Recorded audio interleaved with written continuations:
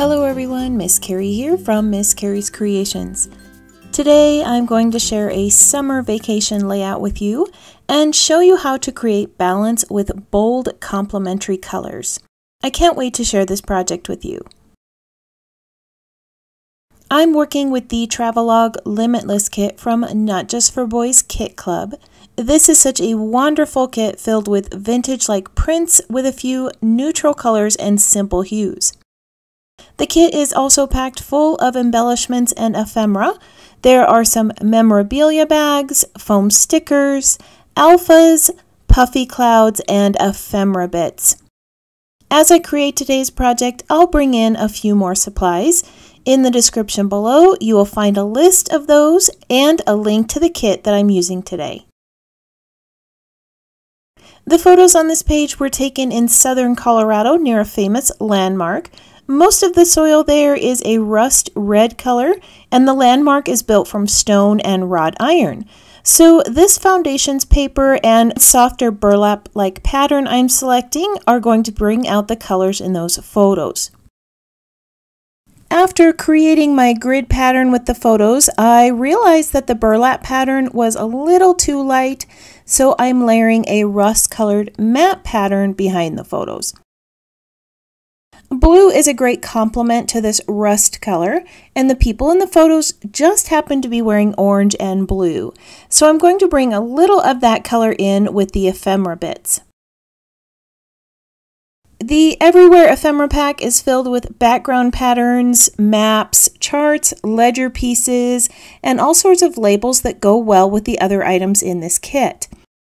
I like layering the larger pieces behind my photo frames to bring more patterns to my design. When I adhere these in place, I'll trim them down to lessen the bulk, but for now I just want to get an idea of where everything is going to sit. To finish off my grid design, I'm adding a little notebook die cut near the top photo. At this point, I don't know if I'll use it for journaling or for the title. Now that I have a rough idea of where all these pieces are going to sit, I'm going to bring in a little texture paste. That rust color pattern is a great background for my photos, but I feel like I need to build some sort of frame or buffer around all my photo layers. I'm going to do this with a brick pattern and some grit paste. The grit paste is opaque, so I'm going to add a little color to it by mixing in some ink. This color is similar to the color of the rock walls in the photos, and the grit texture will mimic their surface. As I add the paste, I am not filling in the brick completely. I want a few of these to be partial bricks or broken bricks and have a rougher edge to them. This just makes your background stenciling appear more organic and less structured, which is the look that I'm going for on this page. I've added most of the brick at the top and a little bit on either side of where my pattern layers are going to sit. Once I have finished adding the paste, I'm going to store the leftovers in a small embellishment jar. By doing this, I can add more of the texture paste later on if needed without having to worry about color matching. So I've allowed that paste to dry and now I can bring in those ephemera and pattern paper layers I created. I have roughed up the edges on these with an edge distresser and added some stitching to a few of the pieces. I find that it's best add stitching to individual pieces or two to three layers of paper instead of attempting to run all six layers through my sewing machine. It does take a little bit of pre-planning, but it prevents my machine from getting bound up in all the layers. Creating grid designs with clusters of photos and ephemera is one of the easier types of layouts to create. I think the hardest part is deciding on the size of photos that are going to work within the space. The larger one on this page is three and a quarter inches square, and the two smaller ones are two inches by three inches.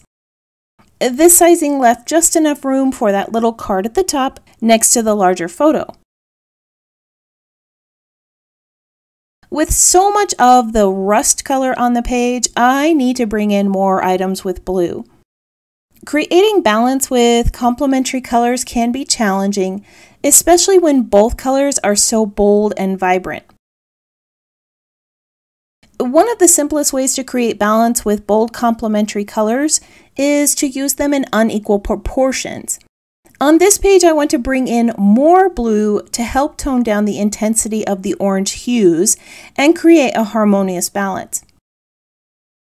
You can also create balance by adding neutral colors to the mix. On this page, I'm adding black, white, tan, and gray to offset the boldness of the blue and orange colors.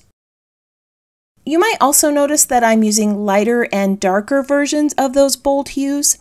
This helps to soften the intensity and create a more subtle balance.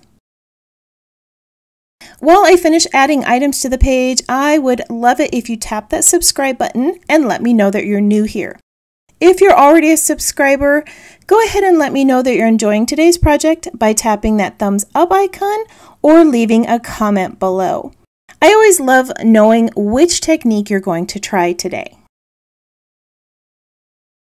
So I decided to place my title near that top photo and bring in more of the blue colors. And now I'm going to add some florals to the page. And most of the items on this page have harsh lines, and these little florals are going to help soften them. I have also brought in some horizontal pieces with labels, phrases, and those chevrons to balance out all the vertical elements. Balancing horizontal and vertical elements is key if you want to create a more natural looking scrapbook layout. Horizontal and vertical lines will guide your eye through the design and create directional flow to the focal points on the page. To finish off my layout, I'm going to bring in one more large horizontal piece at the top. This is a product strip from one of the pattern papers that I plan on stitching in place and then I'll add this little label and another icon up here at the top. I'm going to finish this up and then I'll share the completed page with you. Here is the layout that I shared with you today. At the top, I added some zigzag stitching, that foam label, and an acrylic arrow that points to the focal point on the page. I also added another floral element on the right side of this layout to balance out the weight, and I added some twine and a circular safety pin to the tag. This is a page I created for my sister, so she'll be able to add journaling on the tag and below the photos when she receives this page. The Travelogue kit from Not Just for Boys has some bold color patterns, which can seem a bit overwhelming if you're unsure how to balance them. On this page, I chose a complementary color scheme with two vibrant colors and was able to share with you how to soften those hues with neutral colors. I hope that today's project inspired you to give a few of these techniques a try. If you are one who enjoys pinning photos to inspiration boards, I have added photos of this layout on the Not Just for Boys Kit Club blog and on my website for you to use. If you would like more ideas for using this kit, you can join the Not Just for Boys Kit Club community on Facebook and see even more designs. I want to thank you for joining me for another scrapbook project. If you have any questions about this project or the supplies listed below, feel free to post that in the comments. I hope that you have a wonderful week, and I can't wait to see what you create.